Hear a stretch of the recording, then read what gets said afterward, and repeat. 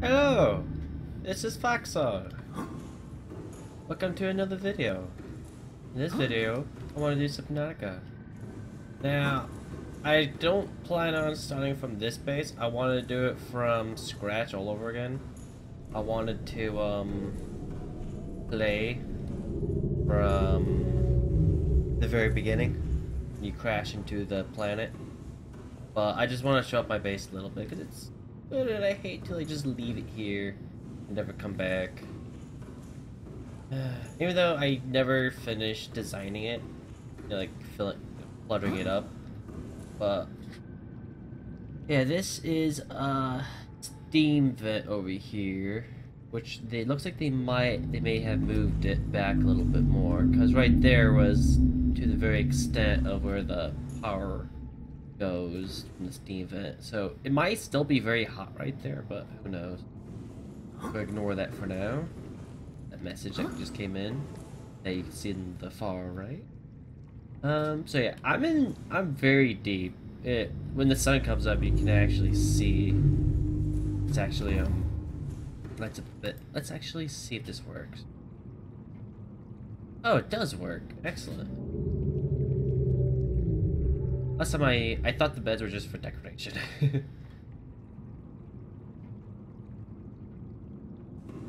Alright. Yeah, see, it's, it's all lit up now. Looks very pretty here. Let's go back to that map we saw. I have a mapping room. I think it's called a scanner room. No, ignore the message. So this is the scanner room. I can upgrade it from here, but I also have these probes. And as you can see, the scanning room does make a map, and you can see kind of where we are. You can see we are on some sort of floating island. And on this floating island, um, we're at just one little part of it over here. And anything else that's interesting? Go. It's supposed to be a crash spa spaceship. Can we see that from anywhere? I think over here. No. Always keep coming. Always keep coming. Uh.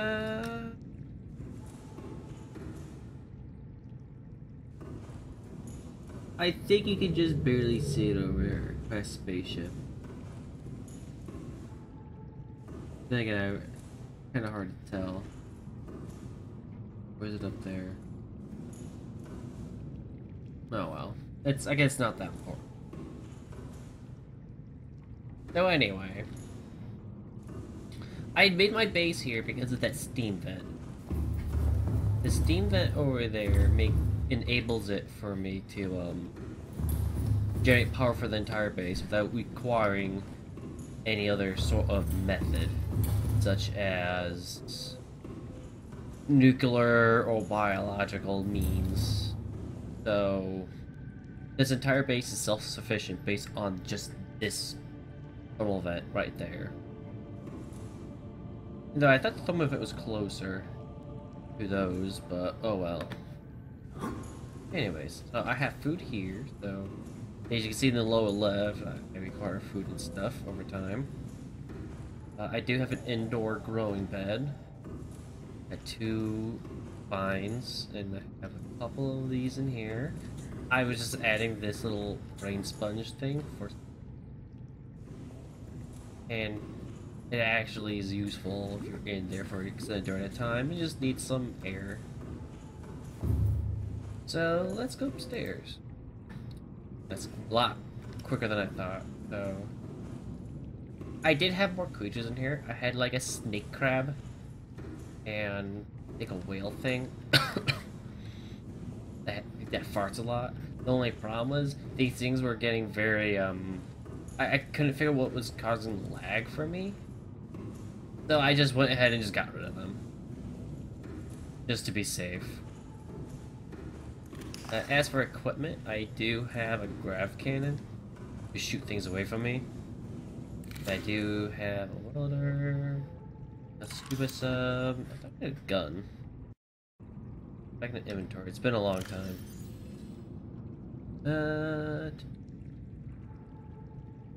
Is my stasis gun?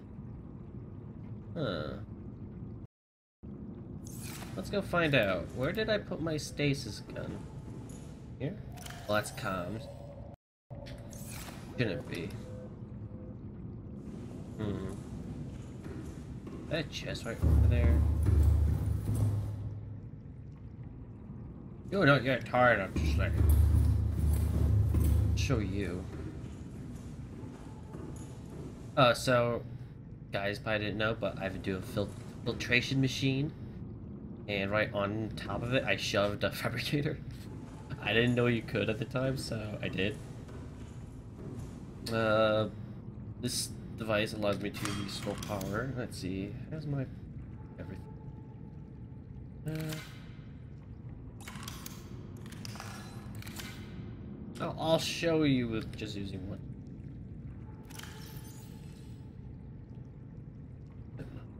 Let's this.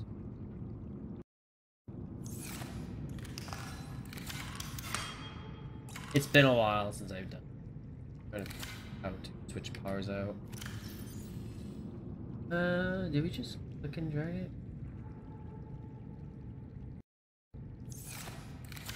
Click R? Yes, you click R, then you go over and select. There you go. That's gonna be useful for me later on. So we go ahead, put the old battery back in. Get a little staticky noises, you know it's working. And it should be draining from the actual power of the station, but since I'm doing so much power, it just doesn't matter. You see all my supplies is up here. I tried being very organized. Uh, the heck is my storage? That something to repair? Was everything in here freaking damaged? Happened.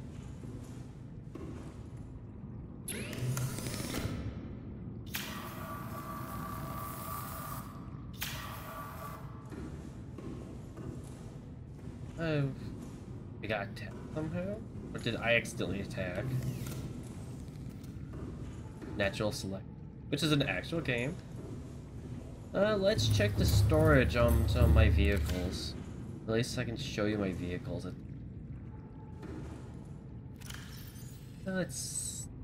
There is storage module here, so there is storage on here. I just gotta find the storage again. Huh? Oh, I jumped through it.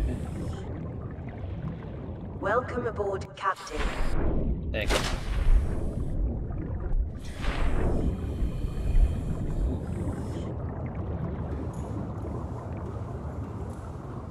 Well, I see they didn't fix the water yet. I think it is. Welcome aboard, Captain. upgrades.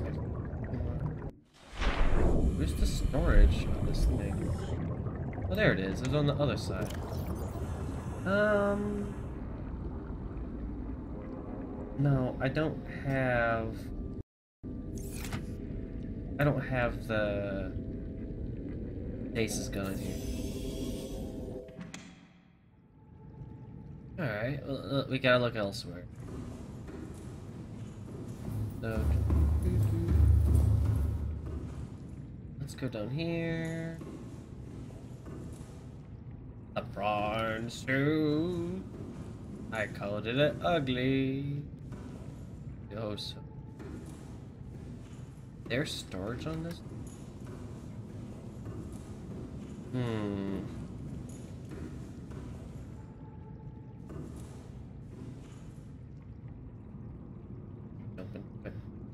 Welcome aboard, Captain. That right there? Does it sound like this electric?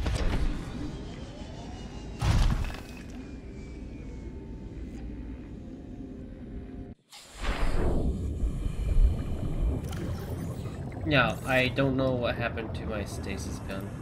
If I ever had one.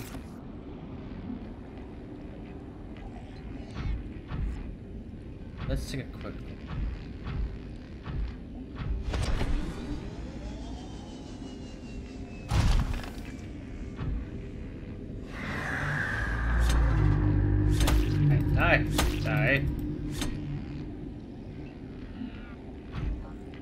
Don't know why I hear a staticky thing. Oh, unless it's coming from my base.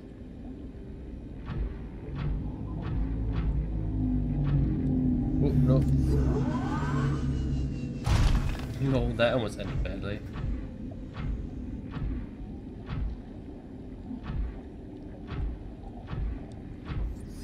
And here's a little outdoor planning pot I had just for decoration.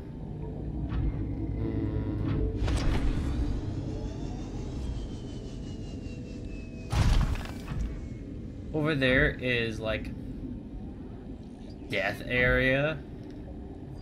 It has some interesting supplies. Let's not go over there though. I'm interested to see what that is. I'm gonna jump over.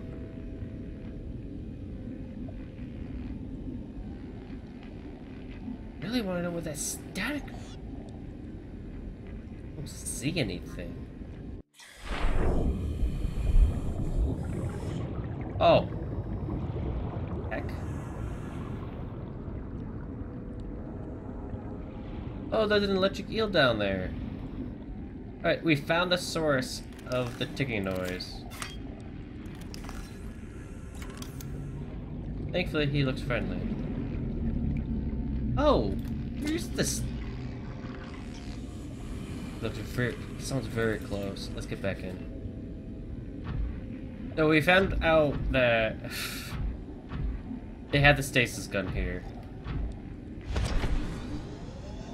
All I think all the things you can find to research are scattered around randomly, so it doesn't matter if I found it here. If I start a brand new game, it's probably not going to be there again. I'm not going to worry about that. Also, like I said, I want to start from scratch. Giving a little tour of my base in the surrounding area.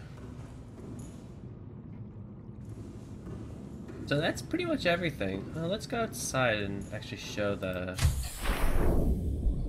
entire base. So yeah, entire base.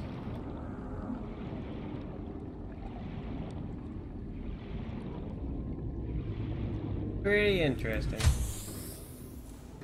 So I had tried to do several different things to make base. I tried making it close to the surface, my problem is it clips with the water surface, clips with the actual um, structure. So you'll have like the water surface like going through the base and it, it was just horrible. The only time it's okay to, to do that with the base going through the surface is if it's the very long tunnel going upwards. Which I think I can show you over here. It's pretty much this part right there. You would have to do with this piece going into the surface. Because that's the only thing that you can't actually physically be in.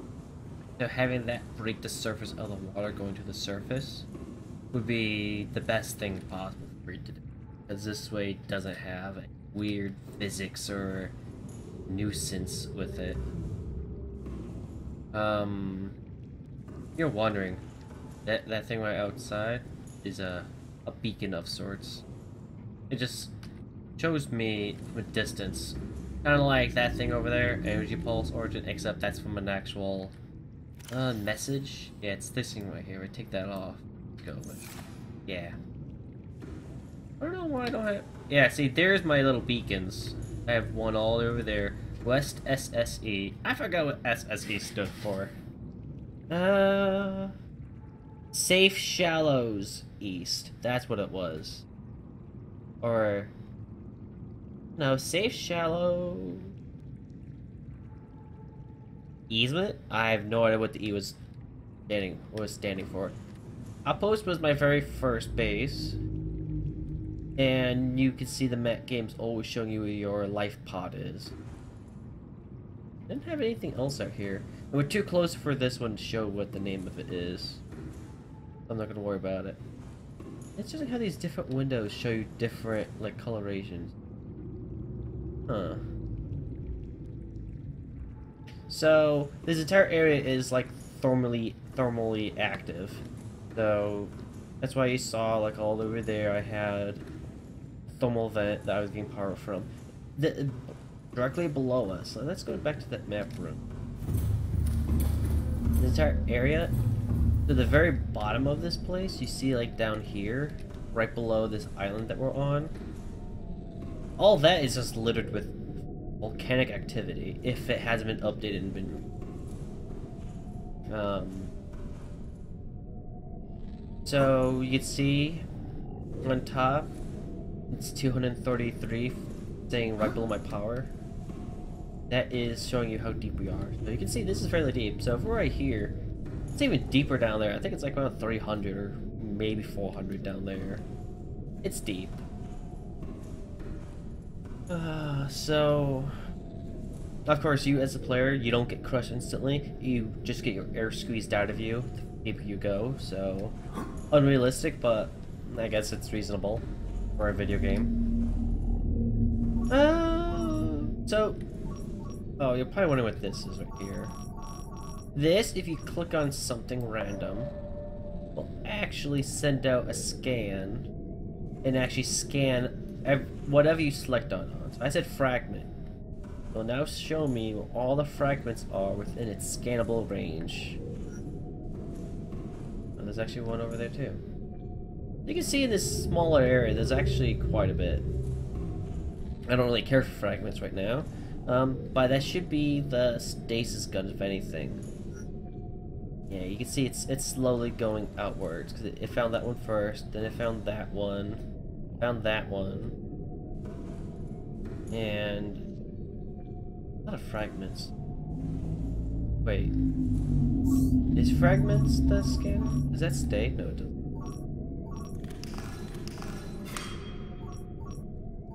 Prawn suit fragment. Does this show me everything that's in the area? That'd be interesting. But yeah. Fragment would have to be the stasis gun. So it shows me everything that's available, because I know this list was actually very small when I first came here. Because I was, like, going outside and looting things actively all the time. Uh... This is how you upgrade your room. Then you put it here. And that's a scanner room? So, the scanner room is not extremely useful, but what's useful about it is you can go up to a camera and get out, and then you can really explore safely. So the thing to do is saying, oh, well, this thing's really dangerous, so I'm just going to be just checking it out from down here. You going through the freaking build structure? You are going through the structure. annoying. Let's go down and see if there still is um normal activity down below.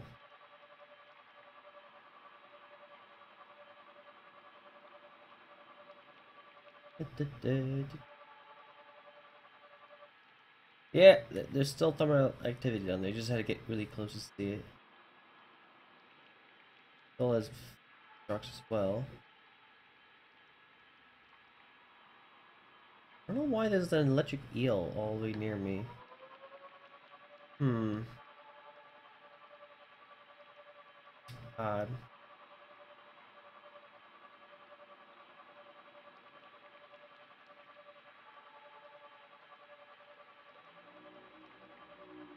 I think the sharks will try and grab the... No, not these sharks. Another one does. So, these guys don't actually go and attack the cameras, I think. But there's another one that does.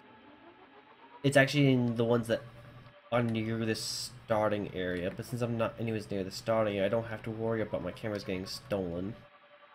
Because they, the ones in the starting area, I forgot what they're called. I think saber tooth shark or something. And th they those like to eat the cameras, not because they actually like eating cameras, but they like eating anything that's metal, or chewing on anything that's metal.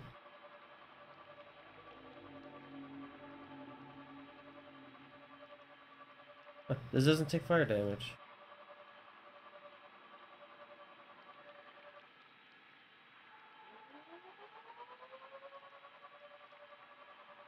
So you can see this is actually very convenient because now we're inside. Inside a potentially hostile area because I didn't that was in here. I think I went in here once or twice. Get supplies. At least to look for supplies. So you can see this is actually a very useful device. Let's get out of here. So now you know the basics of what I had before. Let's try to do this all over again. And this time, what we're gonna do is they made it so the game can be beaten now. The guy can die a lot more. Ew, a lot more grossly. Let's go ahead and do that. Let's let's actually try to beat the game. Gonna go back with this. Because what if I want to start with this again? Hmm. Woohoo. Wait, does this work like?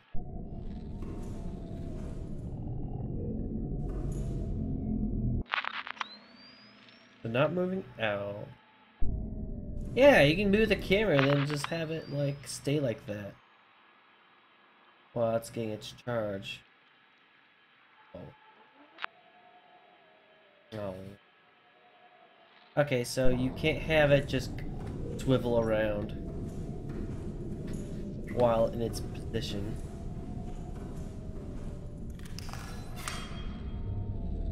How do you change cameras? Oh, you scroll. Alright.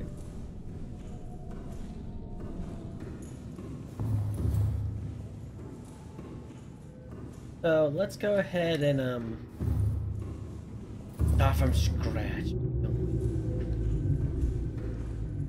Alright. So thanks for watching and talk to you guys later.